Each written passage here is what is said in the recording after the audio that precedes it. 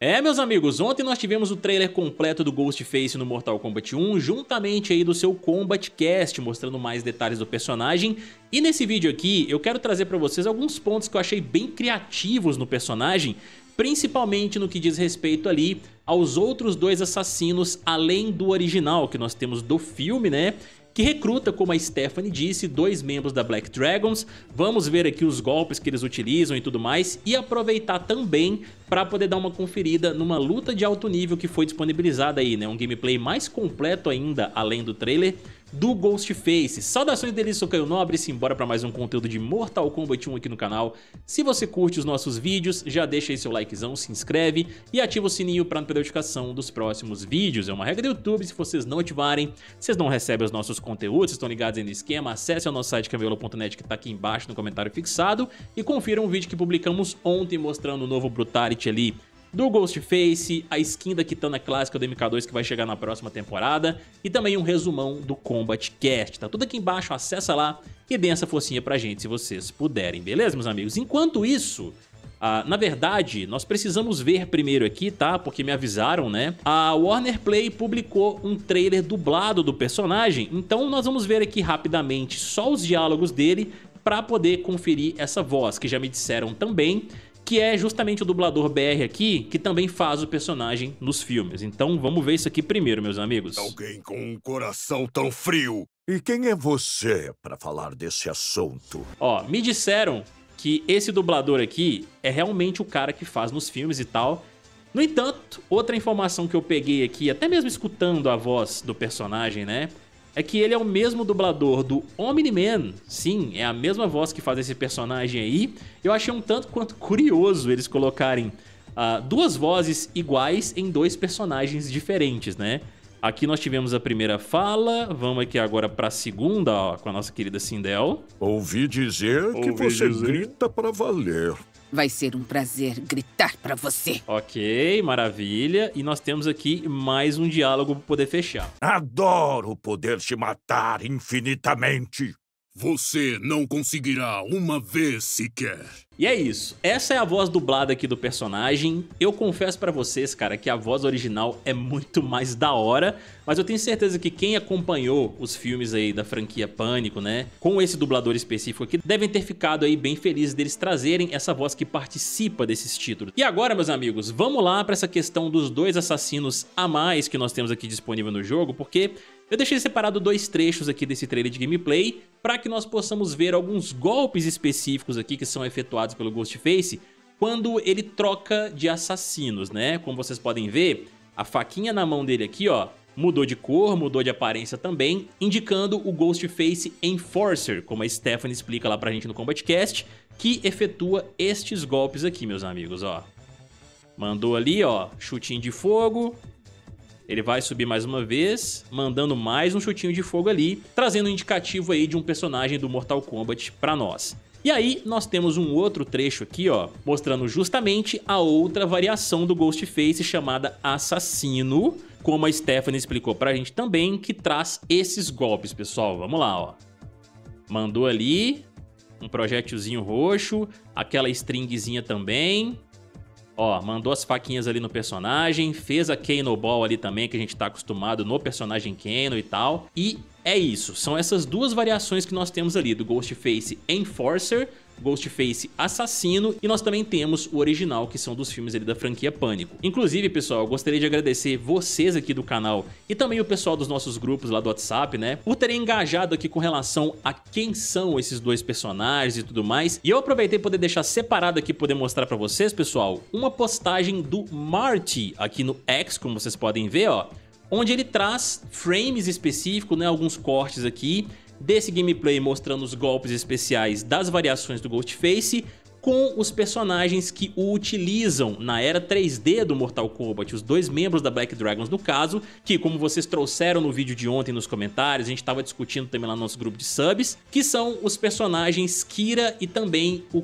Cobra, vejam só, aqui ele utiliza um projétil e ele já faz um corte mostrando a Kira mandando esse mesmo projétil aqui. Nós temos ele aqui mandando uma faquinha e nós temos aqui uma fatalidade da Kira também atirando as suas facas ali no personagem, ó, prendendo os pés dele e tudo mais. Temos a Kano Ball, que a gente tá acostumado aí do personagem Kano desde o primeiro jogo.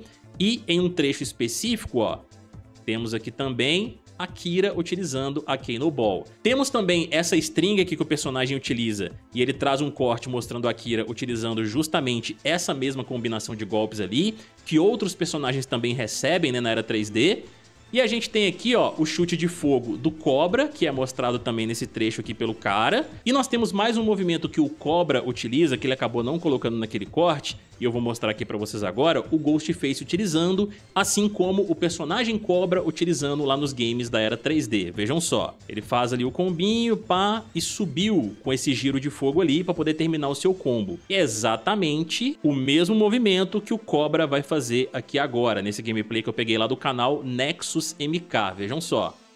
Exatamente nessa stringzinha aqui e subiu com seu chute de fogo ali, ó ele dá dois giros enquanto o Ghostface dá apenas um, e o Ghostface ele faz o seu golpe ali amplificado também, poder manter o personagem no ar e ele completar a sua string, né? Completar o seu combo no caso. Então, eu acho que tá bem claro aí, com base no que vocês tinham comentado no último vídeo aqui, a gente tava discutindo também lá no grupo de subs, que esses dois personagens aí provavelmente são mesmo Cobra e Kira. Vamos esperar na semana que vem para poder ver, porque com certeza ali, efetuando fatality neles, alguma coisa nesse sentido, a máscara deve cair para poder mostrar o rosto desses personagens. É o que esperamos pelo menos, né? E antes de finalizarmos aqui, meus amigos, bora conferir juntos essa luta dos QAs da NetherRealm lá, uma luta de alto nível, mostrando um pouco mais as habilidades do Ghostface, que eu acabei mostrando apenas o trecho do Brutality ontem, né? Então a gente vai aproveitar poder ver isso aqui junto também, que querendo ou não, é um novo gameplay do personagem. Vamos lá! Wuxi Academy. Scary movies have made you a psycho. Movies don't make psychos, they make psychos more creative. Cara, a voz dele é muito mais da hora no inglês, velho. E eu gosto pra caramba do dublador, tá? Dele, aqui no Brasil. Gosto pra caramba da voz. Mas essa voz original dele ficou muito legal. Desde sempre, né? Vamos lá, começamos ali com a corridinha, caiu no chão, bateu na canelinha ali, subiu e já trocou pro assassino, ó. Pra Kira, no caso, né? Que é o que a gente imagina. Tentou ali um pouquinho, saiu fora o Smoke, utilizando ali os golpes do Sub-Zero novos, né? Inclusive, ó, golpes novos do Smoke sendo aplicados aqui também nesse gameplay, cara. E tá arregaçando o personagem, hein? O Smokezão da massa aqui, cara, ele vai receber um, uns buffzinhos legais. Quero até ver em gameplay mesmo assim, a gente experimentando e a galera que manja muito de jogar com personagem também, o que que eles vão fazer com esse boneco agora, com esses novos golpes. Olha ali, ó. Conseguiu utilizar o Sub-Zero também pra poder manter o cara ali na string. Poder manter o cara no combo, perdão. Ih, rapaz. Acabou utilizando ali o Feral Blow. Deu uma farofada ali, mas o Smoke previu, o jogador de Smoke, né? Stringzinha terminando no low. Acabou dando aquela enganada ali no personagem, utilizando o golpe amplificado e ficando invisível o Smoke, que leva o primeiro round, meus amigos. Show. Tentou dar uma congeladinha ali no personagem, não deu muito certo. Ghostface ali conseguiu um pouquinho e encaixar um combozinho ali também, ó, com Command Grab no final. Olha aí, ó. Deu aquela caidinha, tá aproveitando ali que tá agachado pra poder dar umas pokeadas no personagem ali, que fica muito difícil de punir, né? Acredito eu. Pelo menos o Rumble era chato de punir nessa situação. Vai chegando perto ali, conseguiu mais um Command Grab. Por enquanto tá utilizando somente o assassino original e a Sônia de Camel também, né? Se ele for um overhead, provavelmente, né? Ele utilizou. Ó, já trocou de assassino. Tá com o Enforcer ali agora, ó que seria o Cobra, né? Aparentemente ali, provavelmente, que a gente imagina. Hum. Pelo que a Stephanie explicou, ele fica, eles ficam, né? Por um breve período de tempo. Depois eles trocam mais uma vez pro original. Novamente, né? Ali pro original. Defendeu, chamou a Soninha ali, aproveitou a oportunidade de poder trocar. Tá com o Enforcer novamente. Parece que ele acabou utilizando uma barra ali poder tancar o golpe do Smoke e sair do outro lado. Como a Stephanie tinha mostrado também no Combat Cast, né? Toma facadas no bucho. Saiu muito bem ali agora do agarrão, hein, cara. Desceu ali com o personagem utilizando o golpe novo do Smoke. vai aproveitar a oportunidade de poder estender bastante a string. Olha isso, cara. 430 de dano. Minha câmera tá em cima, mas foi isso aí. 430 de dano. Subiu ali. Tentou fazer o teleportezinho na parte de cima, mas o Ghostface já tava esperto. Deu mais uns stabzinhos ali, rapaz. Ó, chamou a Sônia. Prontamente defendido pelo Smoke. Hum, olha esse teleportezinho, hein? Pegou. Deu aquela limpada na faquinha. Tá acabando a luta, hein? E amplificou. E nós temos aí o Brutality que nós vimos ontem aqui, galera. No vídeo de ontem, no caso, né? É isso, cara.